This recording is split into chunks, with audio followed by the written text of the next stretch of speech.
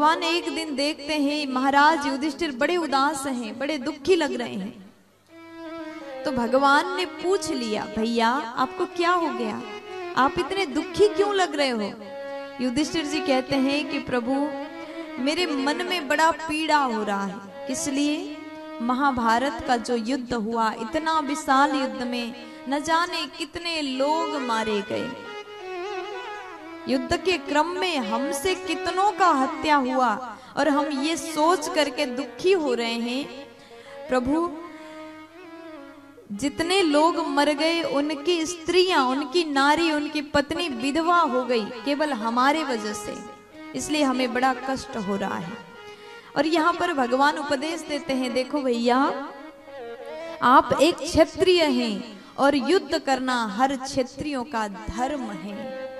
भगवान ने वर्ण बनाए, चार वर्ण बनाए और हर किसी को अपना अपना अलग काम सौंप दिया। ब्राह्मण, क्षेत्रीय, वैश्य और शूद्र, ये चार वर्ण हैं। ब्राह्मण का काम है उपदेश देना, वेद पढ़ना, सबको ज्ञान बांटना ब्राह्मण का कर्म है। क्षेत्रियों का कर्म है युद्ध करना, सबकी रक्षा करना और वैश्य का कर्म है व्यापार करना। और शूद्र का काम है सेवा करना। सबको अलग अलग बांट दिया गया और आप अपने धर्म का पालन कर रहे हैं। इसमें दुखी होने वाला कोई बात नहीं। भगवान बड़े अच्छे से समझा रहे हैं, लेकिन युधिष्ठिर जी को समझ में नहीं आ रही।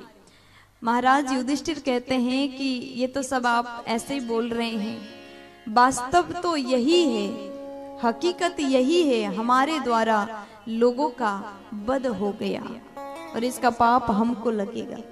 और भगवान सोचते हैं, जब तक समझने वाला व्यक्ति समझना ही नहीं चाहे, तब तक समझ में नहीं आने वाला। देखिए, जब तक उपदेशक के प्रति गुरु भाव ना हो जाए, उपदेशक चाहे कितना अच्छा ज्ञान दे दे, आपको वो बात समझ में नहीं आएगी। यहाँ युधिष्ठिर जी से भगवान उम्र में छोटे हैं, इसलिए इनको बात समझ में नहीं आ रही। ये अब उपदेश तो दे रहे हैं, लेकिन युधिष्ठिर जी उसको स्वीकार नहीं कर रहे हैं। तो भीष्म पितामह के यहाँ भगवान पांडवों को लेकर के चले जाते हैं। भीष्म पितामह कुरुक्षेत्र में, बाढ़ के सैया में, तीर के सैया में इंतज़ार कर रहे हैं। महाभारत के युद्ध के पश्चात उसी युद्ध भूमि में, उसी कुरुक्षेत्र में भीष्म पितामह प्रभु का इंतज़ार कर रहे हैं। भगवान जिस दिन आएँगे, जब प्रभु हमको दर्शन देंगे। प्रभु का दर्शन पाकर ही हम अपना प्राण को त्यागेंगे। भगवान अब भीष्म पितामह के यहाँ जा रहे हैं। दर्शन देने के लिए कुरुक्षेत्र में जा रहे हैं। पांडव को लेकर के, मैया द्रौपदी और कुंती को भी लेकर के चले जाते हैं। और जैसे भीष्म जी ने दूर से देखा, भगवान आ रहे हैं, पांडव के साथ में आ रहे हैं। सर्वप्रथम अर्जुन पहुँचे, पाँच पांडव पहुँचे। भीष्म पितामह को प्रणाम किया सभी ने। पितामह भीष्म लेटे लेटे आशीर्वाद देते क्योंकि वो उठ उठ नहीं सकते हैं। शरीर से रक्त बह रहा है। अब तो शरीर में थोड़ा सा भी रक्त नहीं बचा। लेकिन वो इसलिए अभी तक जीवित हैं, उनको इच्छा मृत्यु का वरदान है। जब तक वो स्वेच्छा से मरना ना चाहे, तब तक उनका मृत्यु नहीं हो सकता। प्यार से बोल दीजिए ना। तो आज जैसे अर्जुन को देखा, पितामह कहते हैं, अर्जुन तुम तो आ गए, लेकिन क्या तुम्हारा वो सारथी नहीं आया? अर्जुन कह रहे हैं कि वो आ रहे हैं, पीछे से आ रहे हैं।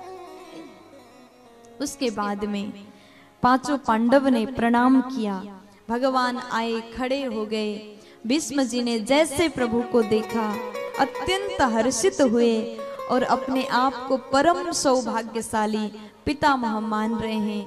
वो व्यक्ति धन्य का अत्यंत भाग्यशाली है, जिसके अंतिम पल में भगवत दर्शन हो जाए। भगवान ने खड़े होकर के दर्शन दिया। भीष्म जी देखते हैं। भगवान इशारा करते हैं, इनको जरा उपदेश दीजिए। तो भीष्म जी उपदेश प्रदान कर रहे हैं। दान धर्मान् राज धर्मान्। मोक्षधर्मन् विभाग सः स्त्रीधर्मान् भगव धर्मा समासा व्या आज भीष्म पितामह धर्मों का उपदेश दे रहे हैं। सर्वप्रथम कहते हैं, दान धर्मान, सबसे बड़ा धर्म क्या है? सबसे बड़ा धर्म है दान धर्म। पितामह कहते हैं कि जीवन में मनुष्य को दान करने का स्वभाव अवश्य ही बनाना चाहिए। कुछ दान ऐसे हैं जो हर प्राणी को करना चाहिए। देखो, सबसे बड़ा महत्व तो है कन्यादान का। कन्यादान हर पिता करते हैं।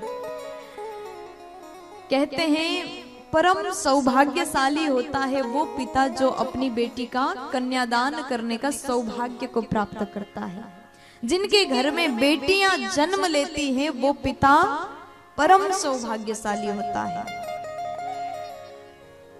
जिस व्यक्ति ने पुण्य किया है, ऐसे पुण्यात्मा के घर में ही बेटी का जन्म होता है। हर किसी को बेटी का सुख नहीं मिल पाता। और अपनी कन्या का कन्यादान करने का सौभाग्य उस पिता को मिलता है जो परम पुण्यशाली होता है।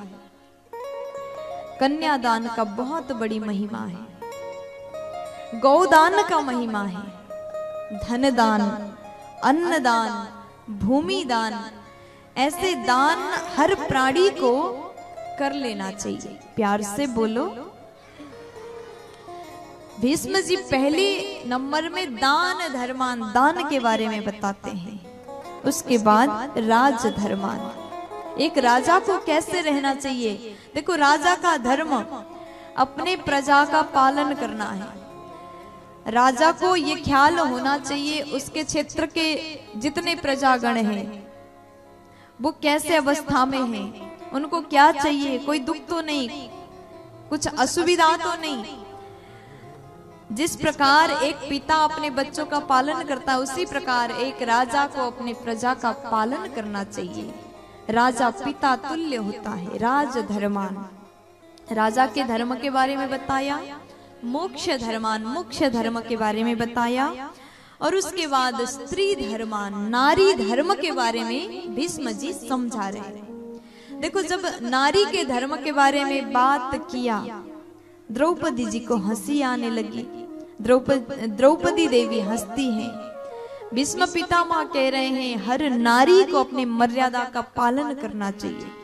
नारी को कैसे रहना चाहिए? कहाँ कितना बोलना चाहिए? कहाँ नहीं बोलना चाहिए? कहाँ जाना चाहिए? कहाँ नहीं जाना चाहिए? हर एक रूप से नारी धर्म का विशाल उपदेश भीष्म जी दे रहे हैं। देवी द्रौपदी को हँसी आती है और पितामह को लगा कि ये क्यों हंस रही हैं? देखो, बड़े कुल की जो नारियाँ होती है ना, वो हर जगह यूँ ही नहीं हंसती।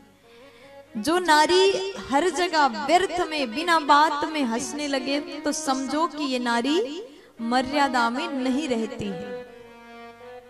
जो अच्छे घर की नारियाँ होती है, बहुत ज़्यादा नहीं हंसती। ज़रूरत है, जहाँ हंसना है, वहाँ थोड़ा मुस्कुरा देती है। लेकिन द्रौपदी इतने अच्छे घर की, अच्छे कुल की होकर के इस प्रकार क्यों हंस रही? भीष्म पितामह के मन में कौतूहल हुआ, जानने का इच्छा हुआ और पूछ ही लेते हैं, देवी, बताइए ना, आप क्यों हंस रही हैं? लेकिन द्रौपदी कहती है कि पितामह, में तो यूँ ही हंस रही थी, कोई रीजन, कोई कारण नहीं था। लेकिन पितामह कहते, देवी, आप हंस रही हैं और आपने कह दिया, कोई कारण नहीं। ऐसा हो ही नहीं सकता, बिना कारण के आप हंसे, ये मुझे विश्वास नहीं। तब द्रौपदी कहती हैं, आप सच बोल रहे हैं, मैं यहाँ हंस रही हूँ, इसका कारण है।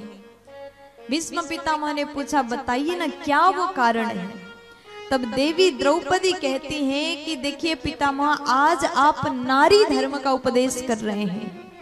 लेकिन उस समय आप स्मरण करिए, याद करिए, उस समय जब दुष्ट दुशासन भरी सभा में मेरा चीर हरण कर रहा था। उस समय मैंने आपकी ओर भी देखा। मुझे लगा कि ये ज्ञानी है, ये परम विद्वान है, ये भक्त है, ये तो मेरे लिए कुछ बोलेंगे। ये दुष्कार्य को रोकेंगे। मैंने आपकी ओर देखा, बड़ी आस लगा करके देखा। आप इतना नारी का सम्मान करने वाले, नारी धर्म को अच्छे से जानने वाले आप उस समय बिल्कुल मौन रहे। आपके मुँह से एक शब्द भी नहीं निकला और वही व्यक्ति आज नारी धर्म के बारे में कैसे उपदेश कर रहा है, यही सोच करके मुझे हँसी आ रही है। भीष्म पितामह कहते हैं कि, देवी, देखो द्रौपदी, मुझे क्षमा करो। द्रौपदी की बाड़ी को सुन करके उनके आँखों से अश्रु जल आने लगा। अश्रु गिर रहा है। और आज भीष्म पितामह कहते हैं, देखो द्रौपदी, उस समय मैं दुष्ट के यहाँ रह रहा था। दुर्योधन का नमक उसका अन्न खा रहा था। इसलिए शायद उस समय आज जो मेरे भीतर निर्मलता है, पवित्रता है, मेरी जो बुद्धि है, मति है, ये शुद्ध है, उस समय मति शुद्ध नहीं था। इसलिए मैंने उस समय रक्षा नहीं किया कुछ नहीं कहा? आप जैसा अन्न खाते हैं अन्न का बहुत बड़ा प्रभाव होता है। जैसा खावे अन्न वैसा ही होवे मन। आप जैसे पानी पीते हैं वैसे बाड़ी बोलते हैं।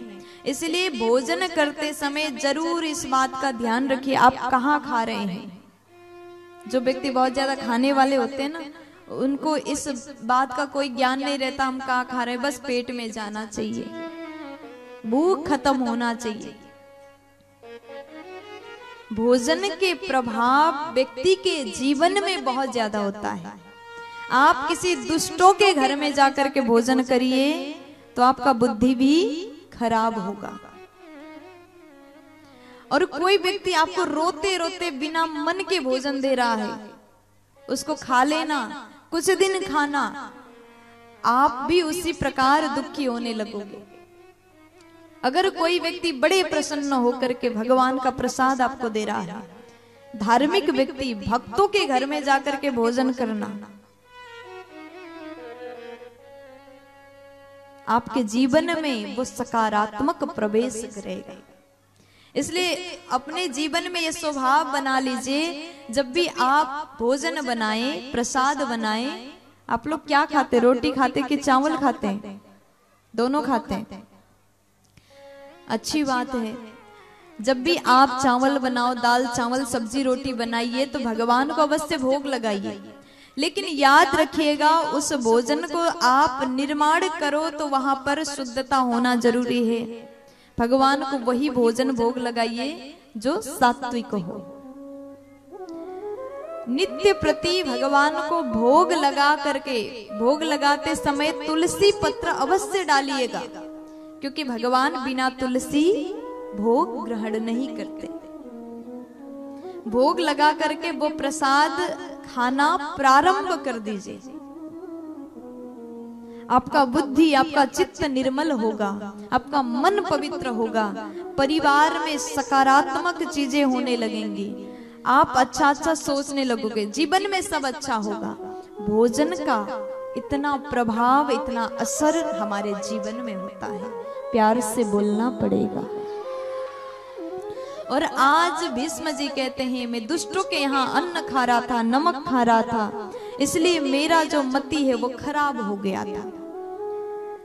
मेरे रग रग में उस अन्न से निर्मित खून बह रहा था, इसलिए देवी, उस समय मैंने कुछ भी नहीं बोला।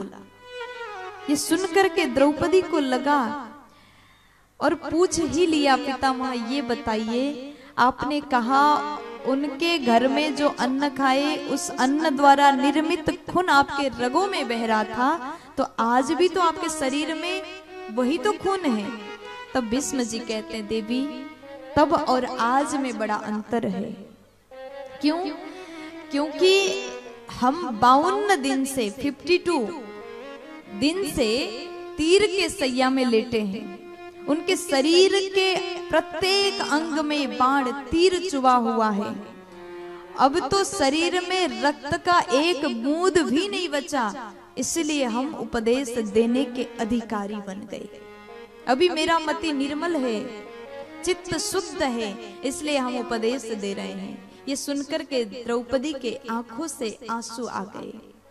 अब भगवान की ओर देखा और आँखों से ही कह देते हैं कि प्रभु बस आप यूँ ही खड़े रहना ऐसे ही मुस्कुरा करके मुझे बस देखते रहिएगा और आपको देखते देखते मेरा प्राण निकल जाए। ऐसी मेरी प्रार्थना है आप स्वीकार करिए। और भीष्म जी कहते हैं, प्रभु, आपको मैं उठ करके प्रणाम नहीं कर सकता। आपके चरणों में पुष्प अर्पण नहीं कर सकता। इसलिए आप मेरी प्रार्थना को स्वीकार करिएगा। भीष्म पितामह कहते हैं, बस इतना कृपा कर दीजिए।